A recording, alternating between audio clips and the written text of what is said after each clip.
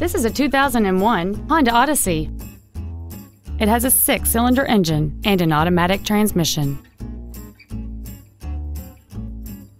Contact us today and schedule your opportunity to see this vehicle in person.